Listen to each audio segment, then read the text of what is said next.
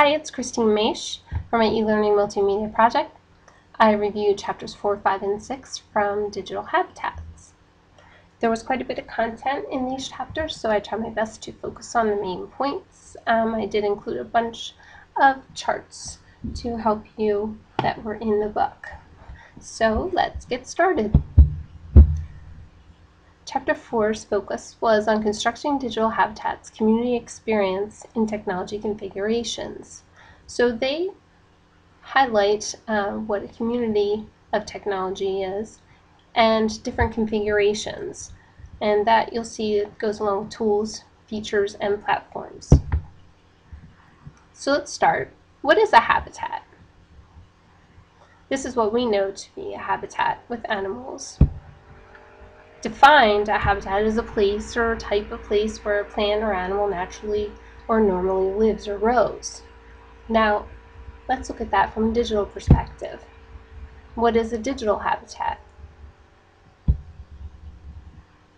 A digital habitat is the portion of a community's habitat that is enabled by configuration of technologies try to look at your day and how technology is involved and the things that you do every day and how each thing is intertwined to help make everything work together.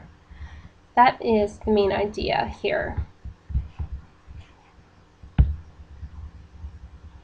The constitution of that habitat are tools that are specific to community activities, platforms into which vendors and developers package tools, features that help make platforms usable and livable, and the configuration of technologies that sustains the habitat. Here you see a chart from page 39 in your text that shows tools that help support the community. Here you can see how with the wiki board you have discussion and wiki tools that help make it function. And then up here, web board, you have a member directory, you have a discussion again and chat. So all these things help support community. Now platforms are things that package tools. Here you have the same types of examples but with a different layout. You can see there's the wiki platform, webboard platform, VIP platform, and these all um, are bundled together to help make people's habitats digitally connected. Features that make technology usable. Now that means each of these platforms can have different features that make it usable. For example, here on a web board, you have email, you have author picture, um, discussion views, new flags. Um, think of something like a Facebook. You can picture all of these features that make it usable. Um, example two, here wiki, um, having page history, and so on so they make technology usable. The next focus was configuration of these technologies, how they can all be grouped to work together. Now when we integrate all of these habitats, we can see that I just took a little example of activities, tools, and features. For example, ongoing community conversations can involve discussion and they can have features that are multi-threaded. Um, communication of key events can have file storage, and they can also have an email interface. So everything can be linked together. And you can see that's broken down in activities, tools, and features. Now let's move on to chapter 5. Making sense of the technology landscape. How does technology provide functionality to support activities and support a community's dynamics? This is really important because we see how technology has influenced our lives. Well, how can it support the community of learning? Um, think about that each day. Um, if you're an educator or if you have another type of job or profession, and how technology fits into your community and how it supports it. Now, important thing here are rhythms, interactions, identities. By rhythms, you think of togetherness and separation. Well, how does that apply to you? Well, think about our class. We have times where there's togetherness, where we might be doing a web conference, or there might be some separation, where we're possibly doing a project. And the same thing goes on with interactions and identities. Um, here we have individual and group. when last week when we did our voice threads, we responded individually and then listened as a group um, and responded and after listening to each of the other people in our group. Um, this week we collaborated as a group um, and created questions and then responded. So when you have a community, you have different degrees of interaction. Here's another chart that can explain that. Um, so sometimes your digital community or habitat can have love togetherness as well as separation. Um, same thing with participation. And that means your, your arrow, if you had to move one way or another, it can change. It doesn't always have to be the same. Again, look at our class. We've had activities that are together, some are separate. Um, some are done as individuals, some are as groups. So each thing can change back and forth, and they all make our e-learning community.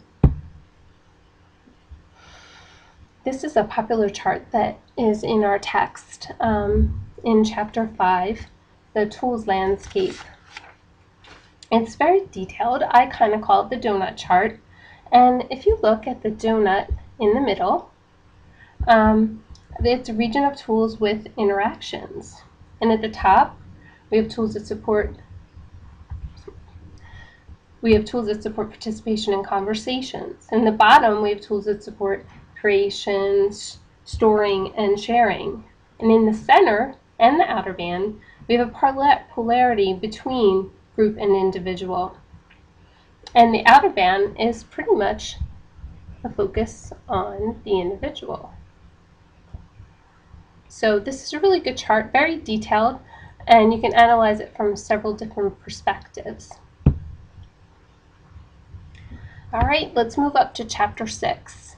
So now that we've built up chapters four in looking at platforms, features, tools, and configurations, and then we talked about community, how it can vary um, from togetherness to doing things more individual or group. And we saw how that can be ever changing to make a community of digital learning work.